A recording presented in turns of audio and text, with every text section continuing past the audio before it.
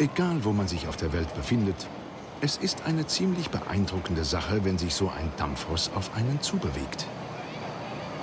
Diese große japanische Lok hat zwar eine recht kleine Garnitur am Haken, dafür ist die umso bunter. Die Passagiere sind in bester Stimmung. Die Fahrt muss großes Vergnügen bereitet haben.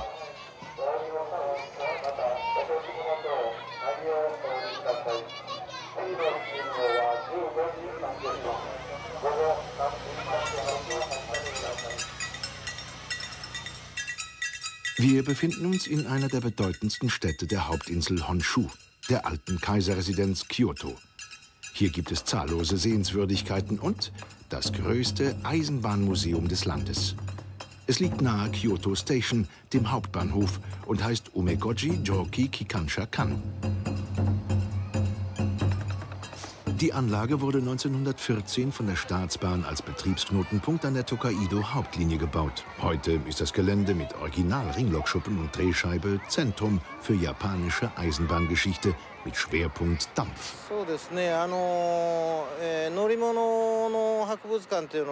Der stellvertretende Museumsdirektor weist uns stolz darauf hin, dass es in Japan zwar einige Eisenbahnmuseen gibt, aber keines mit so vielen einzigartigen Ausstellungsstücken wie hier in Kyoto.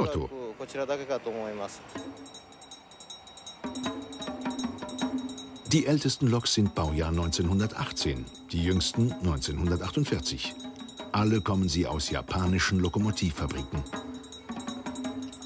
Die Dampfzeit in Japan dauerte bis Anfang der 70er Jahre. Damals war die Idee schon herangereift, sie für die Zukunft museal zu bewahren.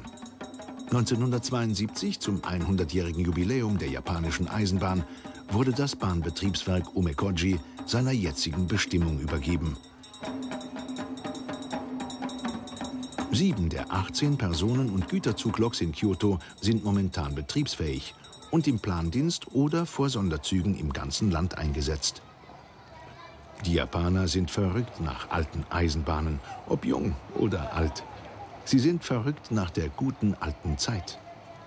So war das Museumsgebäude einst ein alter Bahnhof an der Kyoto-Linie. 1904 unterhalb der Burg Nijo gebaut, wurde er 1996 dort abgetragen und als historisches Zeugnis nach Umekoji umgesetzt.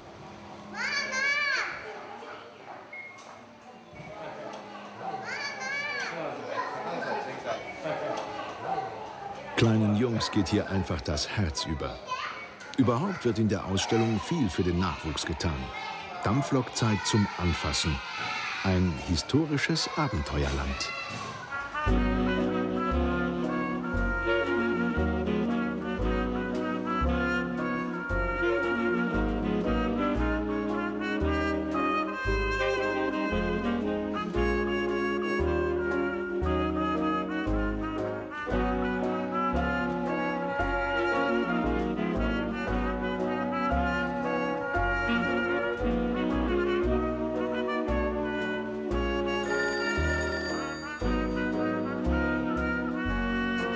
Großen Jungs geht das Herz über bei so viel Eisenbahn. In ihren Anfangszeiten, damals kam der Tenno, der Kaiser, aus der Dynastie der Meiji und das bis dahin abgeschlossene Inselreich öffnete sich zum Westen hin. Am Anfang also holte Japan sich Lokomotiven aus Europa und den USA. Mit zunehmender Industrialisierung baute man sie selbst. Kisha, Kawasaki, Hitachi oder Tateyama steht auf den Schildern der Dampfloks ab 1914.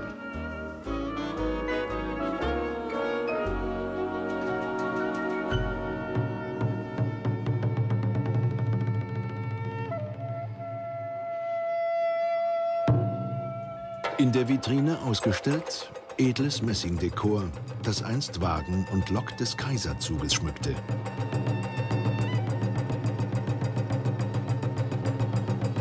Mit wehenden Fahnen fuhr der Tenno durchs Land. Leider ist uns die von Hitachi gebaute Lok vom Typ C59 nur als Foto vor die Kamera gekommen.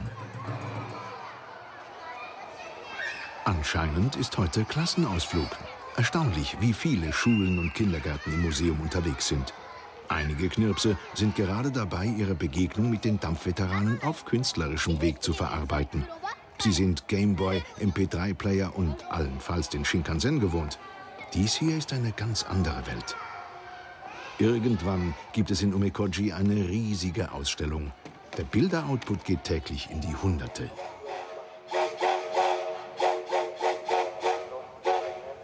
Achtung! Die laute Lok mit der Bezeichnung D51200 ist Baujahr 1938, hat vier gekuppelte Achsen und gehört zur fahrenden Flotte der Japan Rail West.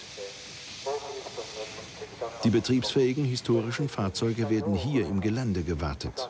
Museum und Bahnbetriebswerk also in einem.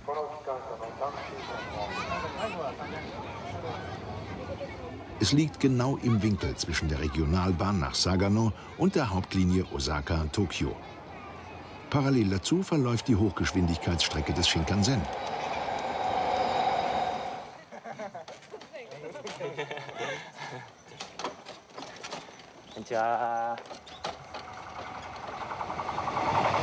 Das hat ja gerade noch gereicht. Wir sind in der Ausflugsregion Arashiyama. Dort, wo sich der gestresste Kyoto-Jin Erholung sucht und findet. Nach 15 Minuten Zugfahrt am westlichen Stadtrand ein Paradies mit Flüssen, Wäldern und Bergen. Sehr beliebt sind die Bootsfahrten auf dem Fluss Hosu, der sich durch die Arashiyama-Berge schlängelt. Normalerweise tummeln sich hier mehr Touristen als Flusskapitäne. Offensichtlich haben wir eine ruhige Stunde erwischt. Auch die unvermeidliche Schulklasse hat den Kahn schon verlassen. Markantes Wahrzeichen der Gegend ist die hölzerne Brücke, genannt Togetsu Kyo. Der Name bedeutet Brücke über den Mond, der sich vermutlich nachts im Hosu spiegelt. Die Konstruktion geht auf das 13. Jahrhundert zurück. Stilgerecht kann man sich darüber auch fahren lassen.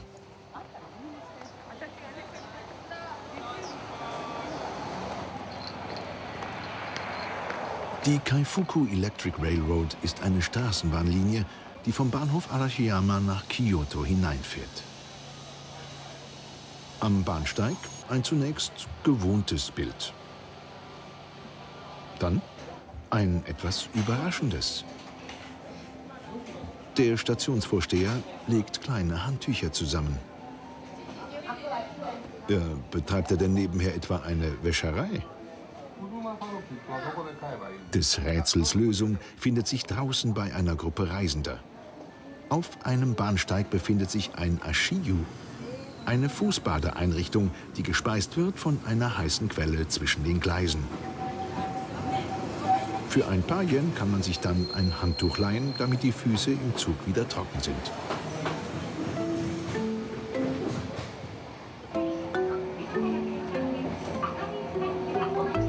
Wir fahren mit der elektrischen auf der Arashiyama-Linie ins Stadtzentrum zurück.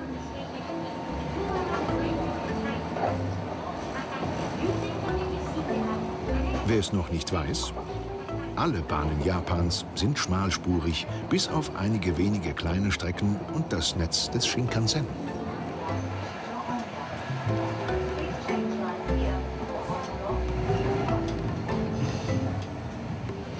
Zwischenstopp an einer der zahlreichen Vorortstationen.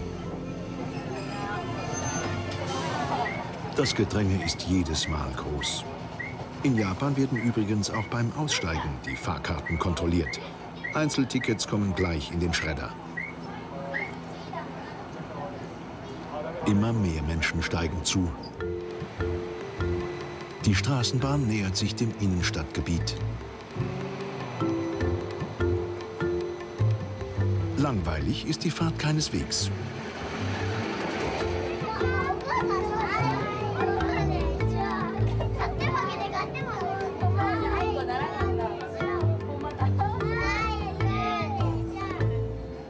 Höchstens, wenn man sie jeden Tag machen muss.